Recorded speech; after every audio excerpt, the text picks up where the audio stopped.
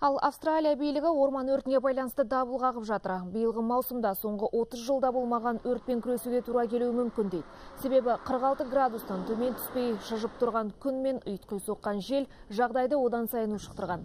Қазір табиғи апат оңтүстік Австралия штатының астанасына жақын маңды жайпап барады.